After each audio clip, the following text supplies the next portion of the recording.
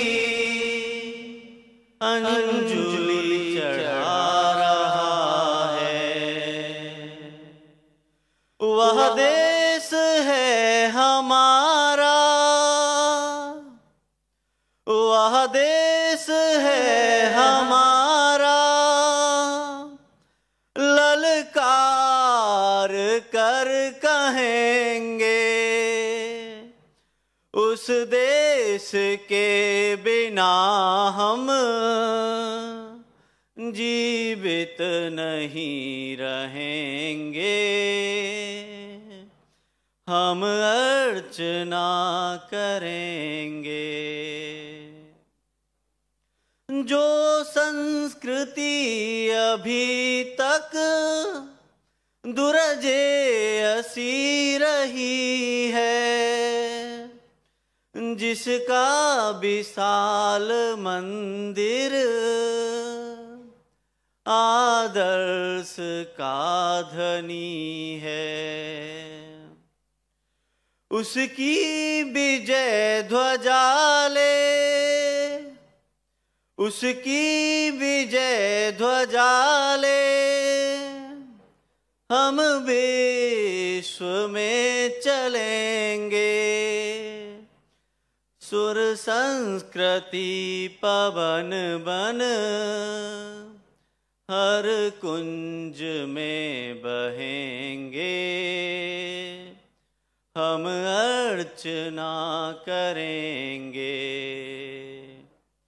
हे जन्मभूमि भारत,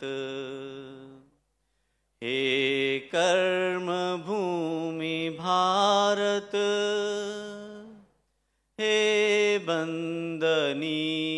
भारत। अभिनन्दनीय भारत। हे जन्मभूमि भारत। हे कर्मभूमि भारत। हे वन्दनीय अभिनन्दनीय भारत। गुणातीतोऽक्षरं ब्रह्म भगवान् पुरुषोत्तमः। जनो जानन्निदं सत्यं मुच्यते भवबन्धनात्। श्री स्वामिनारायण भगवान की जय। अक्षर पुरुषोत्तम महाराजनी जय। राधा कृष्ण देवनी जय। सियावर रामचंद्र भगवान नी जय। प्रमुख स्वामी महाराज नी जय। महंत स्वामी महाराज नी जय। प्रमुख स्वामी महाराज शताब्दी महोत्सव नी जय। અખિલ ભારતીય વિદ્યાર્થી પરિષદના, ગુજરાત પ્રદેશના, આ એકાવનમાં અધિવેશનમાં પધારેલા આપ સર્વેને નમસ્કાર. સુપ્રભાત. અને જય સ્વામિનારાયણ. આજની વાતનો વિષય મને એવો આપવામાં આવ્યો છે કે એકવીસમી સદીમાં શિક્ષણ પાસેથી અપેક્ષા. બરાબર?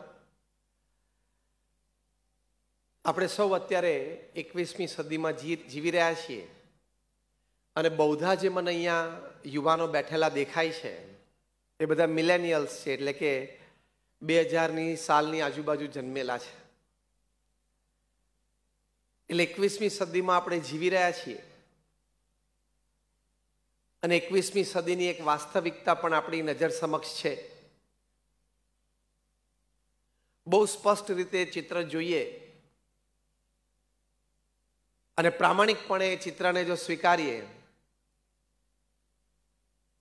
તો આપણે ચોક્કસ બધા એક વાત સાથે સહેમત થઈશું. કે ઇતિહાસમાં ક્યારે અત્યારે સમાજમાં છે એટલો ભણેલો ગણેલો વર્ગ હતો નહીં. હા કે ના? બીજું, ઇતિહાસમાં ક્યારે અત્યારે જેવી શૈક્ષણિક સંસ્થાઓ છે, એવી શૈક્ષણિક સંસ્થાઓ અને એટલા પ્રમાણમાં તે પણ ક્યારેય ઇતિહાસમાં નહોતી. હા કે ના? તો વાસ્તવિકતા એ છે કે અત્યારે શૈક્ષણિક સંસ્થાઓ ખૂબ છે, જે ઇતિહાસમાં ક્યારેય નથી. ભણેલો શિક્ષિત વર્ગ એ પણ ખૂબ છે, જે પણ ઇતિહાસમાં ક્યારેય નહોતો પણ સામે એ પણ એક વાસ્તવિકતા અને હકીકત છે કે દિન પ્રતિદિન સંસ્કારનું સ્તર, દિન પ્રતિદિન સદગુણો પ્રામાણિકતા, નૈતિકતા ઇત્યાદિકનું સ્તર. દિન પ્રતિદિન સત્યમાં નિષ્ઠા, સત્ય પ્રત્યેનો એક લગાવ. એ ઘટતો જાય છે. એ ઘટતો આપણને સમાજમાં અનેક ક્રિયા, પ્રક્રિયા, ઘટનાઓ બને છે એના પરથી સ્પષ્ટ દેખાય છે. ત્યારે આ બહુ મોટો એક વિરોધાભાસ આપણને દેખાય છે. કે આટલી સરસ શૈક્ષણિક સંસ્થાઓને આટલું સારું શિક્ષણ સામે સંસ્કાર અને સદગુણોનું કેમ ધોવાણ થતું જાય છે? ત્યારે એ વિસંવાદિતતાને એ યથાર્થ સમજવી ખૂબ જરૂરી છે. ત્યારે આપણે એમાં કંઈક અનુમાન બાંધી શકીશું. તમે જુઓ, દિન પ્રતિદિન હિંસા તો એટલે કે ક્રાઇમ તો વધતું જ ચાલે છે. જે લોકો બોમ્બ્સ અને મિસાઇલ્સ બનાવે છે એ બધા ઇલિટરેટ એટલે કે અભણ નથી. ખૂબ શિક્ષિત છે. ઘણા બધા એમાંથી દુનિયાની શ્રેષ્ઠ યુનિવર્સિટીઝમાંથી ગ્રેજ્યુએટ પોસ્ટ ગ્રેજ્યુએટ થયેલા છે. વૈજ્ઞાનિકો થયેલા છે. પણ એ લોકો દિવસમાં પંદર અને અઢાર કલાક પોતાની લેબોરેટરીમાં બોમ્બ્સ અને મિસાઇલ્સ બનાવવામાં રત છે. કે જે દ્વારા સમગ્ર મનુષ્ય જાતિને પૃથ્વી પરથી સાફ કરી શકાય. ત્યારે આપણને આશ્ચર્ય ઉપજે કે દુનિયાની કહેવાતી શ્રેષ્ઠ યુનિવર્સિટીઝમાંથી જે વ્યક્તિ ગ્રેજ્યુએટ પોસ્ટ ગ્રેજ્યુએટ થયો, સાયન્ટિસ્ટ થયો, એ વ્યક્તિને એવા સંસ્કાર કે એવા સદગુણો નહીં કે હું દિવસમાં બાર પંદર કલાક માનવ જાત સુખી થાય, એની માટે કંઈક પ્રયત્ન કરું બલકે નહીં કે માણસ જાતને કેવી રીતે સાફ કરી નખાય. સુખી થવાનો રસ્તો લેવો જોઈએ, સાફ કરવાનો રસ્તો નહીં.